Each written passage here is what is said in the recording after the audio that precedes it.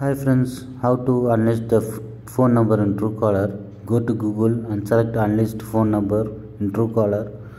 and select your number with uh, country code and select the not I am not robot and unlist unlist your number it automatically removed 24 hours